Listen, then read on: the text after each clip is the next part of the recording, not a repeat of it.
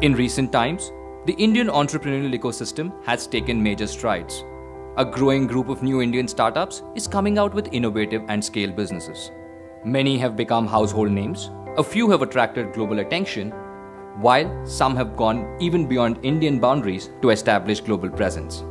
But there are no easy paths to success in entrepreneurship. The road to success is a hard one. I meet with many potential entrepreneurs with creative and innovative ideas. Now, some succeed while others just fail. Those who succeed, they have a good hold on the idea and a strong sense of direction. Before you start up, you will be thinking of many fundamental and tactical questions that would need answers. When we were starting up, we didn't really know how business model would evolve.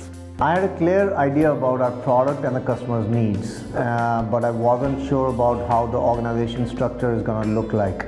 So if I had that clarity before, that would have been super. We were really good at building the product, but we were still not sure how to reach out to the investors or how to pitch to them or what is the right way to talk to them. Besides business model, team, and funding, as an aspiring entrepreneur, there are 100 other things that one needs to keep in mind. Startup with Upgrad is a specially designed program to help aspiring entrepreneurs with the tactics and learnings to chart the path for the entrepreneurial journey. At Startup with Upgrad, you would experience the real life successes and mistakes of the most reputed founders, learn concepts and frameworks from India's leading faculty members, and apply these learnings to your own venture idea. So I welcome you to experience this unique program to start up with Upgrad.